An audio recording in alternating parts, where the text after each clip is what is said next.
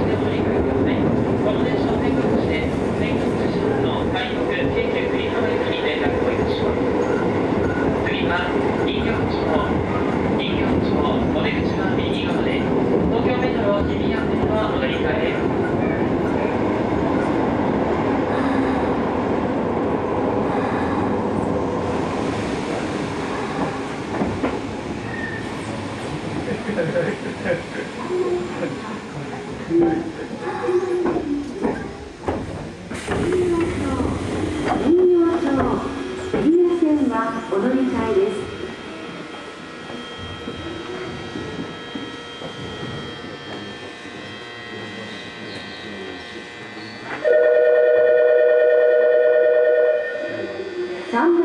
その手動が下に回ってください